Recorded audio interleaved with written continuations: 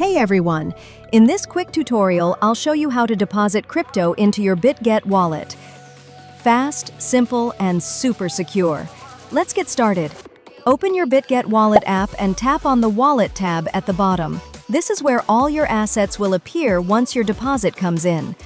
Select the token you want to deposit. For example, USDT, BGB, or any other asset you prefer. Just tap on the token to open its deposit page.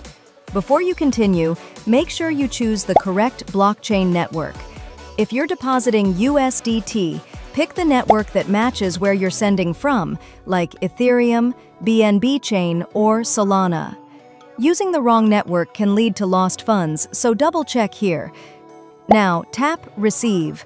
You'll see your deposit address and a QR code. You can copy the address, share it, or scan the QR, whichever works for you. This is the address you'll be sending your crypto to. Next, go to the wallet or exchange you're sending from, paste the address you copied, choose the amount you want to send, and confirm the transaction. Once the blockchain confirms it, the deposit will show up in your Bitget wallet. And that's it. Your crypto is now in Bitget Wallet and ready for trading, earning, or exploring Web3. Bitget Wallet, crypto for everyone.